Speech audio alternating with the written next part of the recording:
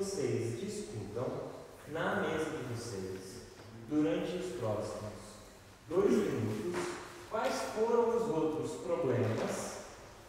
que não são relacionados aos cinco